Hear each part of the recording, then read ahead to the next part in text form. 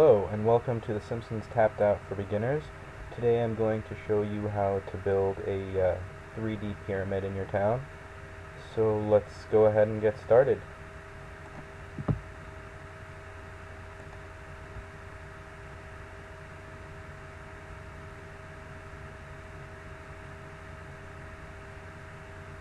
A little bit of time to load. Now it's telling me that the other device didn't save. I'm not too sure why the game does this, but it's actually a glitch where if uh, you log out on your other device, even though it saves everything to that moment, it'll still give you this error message, so I'm just going to go ahead and hit play now and then continue.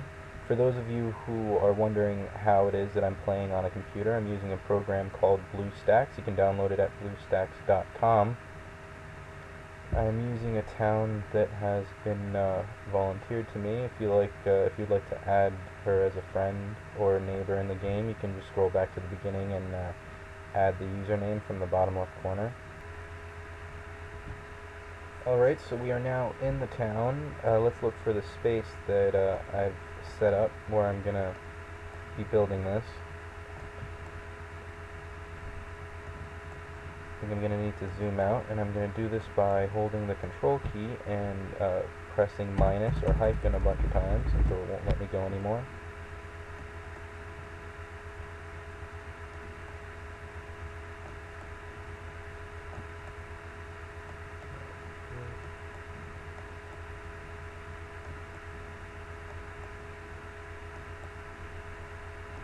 Okay, so we've got the space that I set up right over here. Now I'm going to use the Aztec Theater, which is in inventory.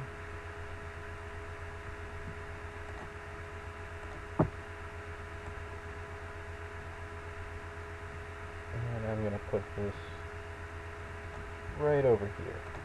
It's going to work. Now I'm going to build a frame of hedges around the, the theater most people don't know that it's probably a better idea to start at the top and work your way down rather than starting from the bottom and working your way up. Uh, most people would make this mistake because uh, the way a pyramid would have to be built in real life or with Legos for example is you would start from the bottom and build your way up. But because this whole thing is an illusion we're able to play around. We're not really affected by gravity so we'll start at the top. And then as I do this you'll see why it's just more natural. Uh, maybe not natural looking, but natural feeling. So let's get started as soon as I find these hedges in the menu.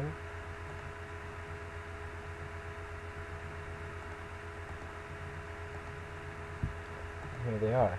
So, gonna make a rectangle. I think uh, here's a good place to start.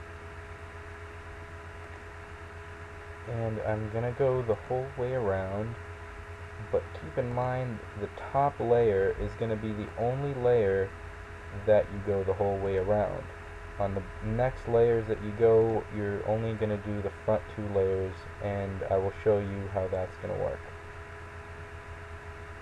So we have enough going this way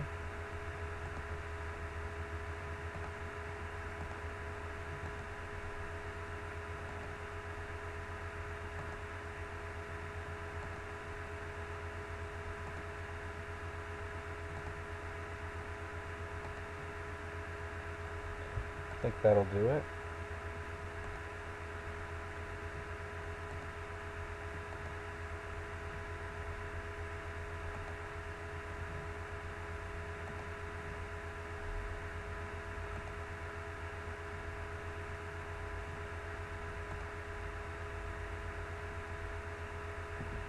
Now let's see.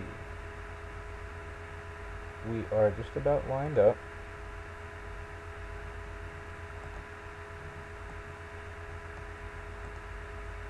Going to complete the rectangle, but then I'm going to leave an open space once I get to the middle.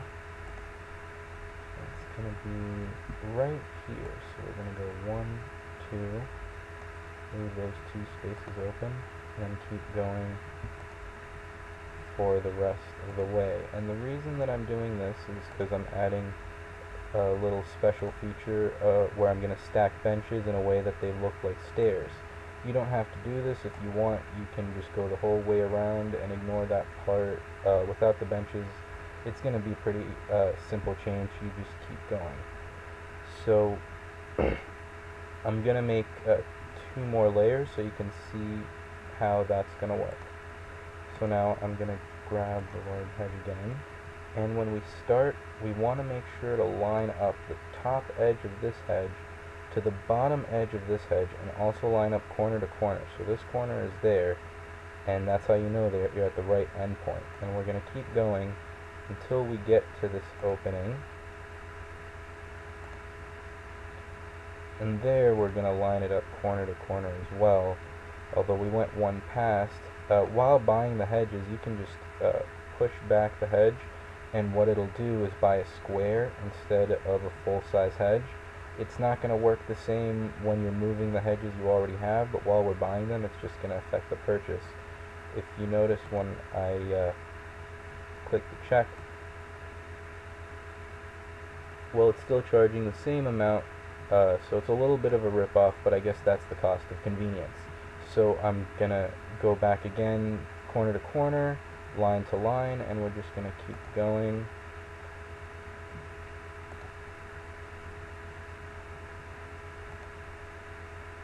now here you don't want to worry so much about the corner because we're on the front end. Because if you line up the corner to corner here and then I'll show you what happens when you do that. If I line up the corner to corner here and then I have the corner to corner over there what we end up with is an opening. So don't worry so much about the corners rather than the lines to make sure that we wrap the whole way around. So I'm going to grab So if you have that sort of scenario, you just want to extend it one more out that way. And then we just wrap the whole way around. And I'm going to do it the normal way with the next row.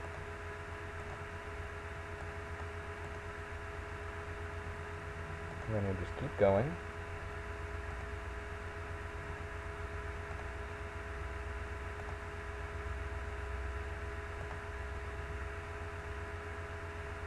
We're at the corner.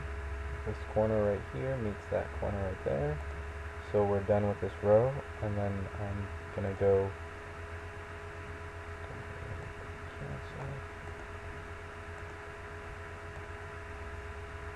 corner to corner, edge to edge. Bottom of, bottom of this matches top of that. We're going to keep going until we get to the opening, to the corner. See this corner is not meeting the corner, so we got to bring bring it back to meet it. And then this corner to that corner.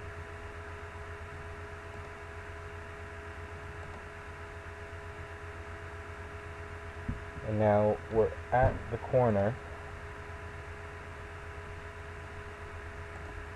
but we don't really need to push it back we can just continue this way and it's still the same layer they meet at the same angle and we're lined up so when it comes to the front as long as the line is matched up just make sure to go the whole way around and that this right here keeps going until it meets that right there and don't leave out your intersection.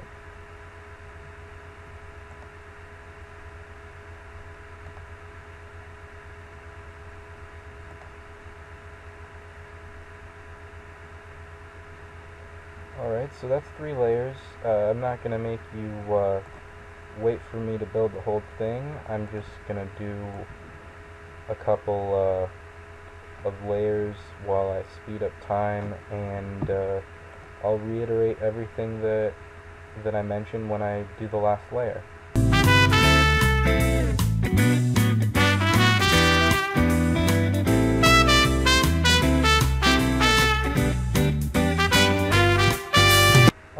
So we have one level left to build and I'm just going to go through that process again real quick and I'll show you how you do the benches so that they look like stairs. So first let's put on that last row of hedges.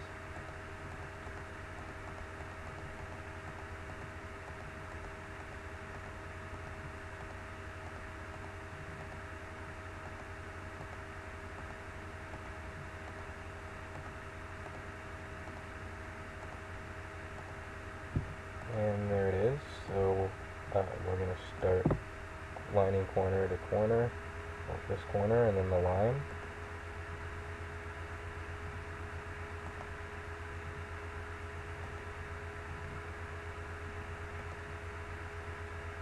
And we're one ahead of the corner, so I'm going to bring it back and match the corner.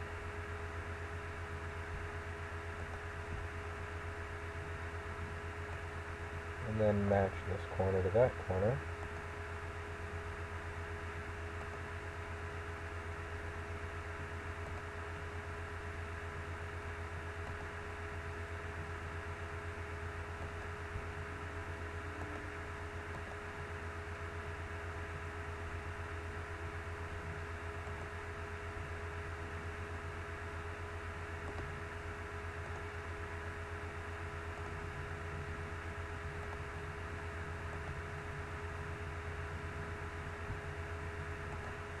Wrap it the whole way around.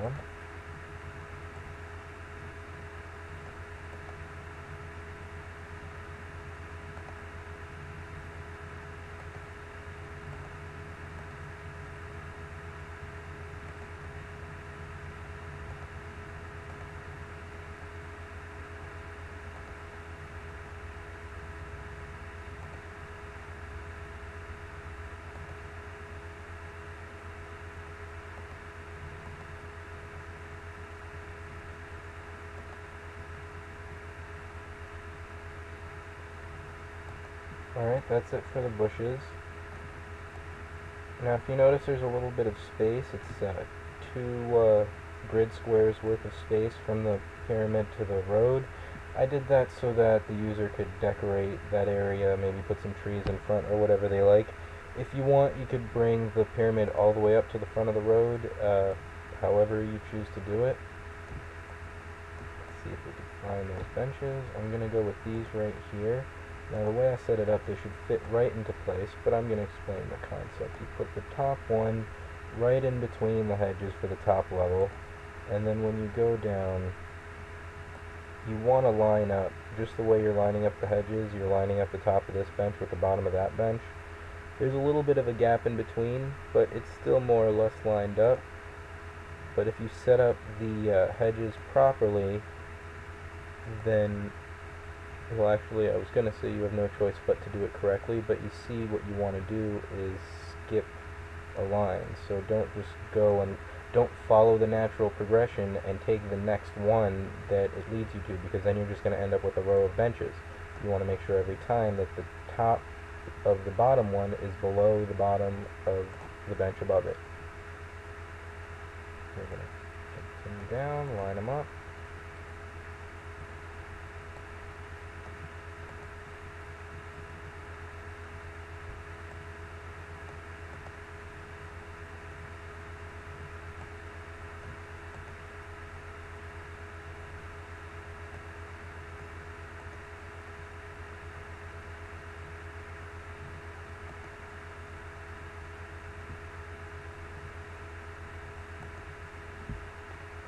And there you have it, a finished, uh, finished pyramid.